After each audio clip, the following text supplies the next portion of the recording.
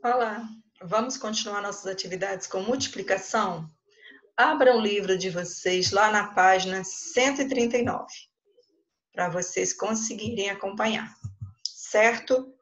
É, eu peguei esses exercícios, são vários exercícios, né? E dividi em blocos menores. Então, cada vídeo eu vou postar um, um, um pedaço, um pouquinho deles, para quê? Para que vocês consigam fazer as atividades com um pouco mais de tranquilidade, tá bom? Não acumular tantos exercícios para vocês realizarem em casa. A primeira tem assim, ó, a letra A, correção da tabela de multiplicação por 2. Então, já foi o exercício que vocês fizeram, eu já enviei o gabarito. Então, esse aqui não precisa mais se preocupar, está resolvido. Letra B, os resultados obtidos começam com zero e depois aumentam de 2 em 2. Esse 2 em vermelhinho é para vocês colocarem no livro de vocês. É resultado, né?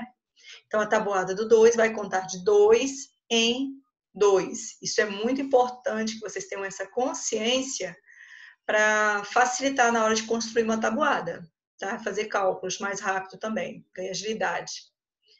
Letra C. Os resultados da multiplicação por 2 são números pares ou ímpares. 0, 2, 4, 6. Esses números são pares ou ímpares? Vocês irão escrever a resposta. Complete com os resultados da tabuada do número 2. Então, aqui você vai colocar 0, 2, 4, 6, o 8 eu já coloquei, vocês irão completar esta sequência. É, continuando na mesma página, vai ter multiplicação por 3. Ah, hoje nós vamos fazer a tabuada de 3.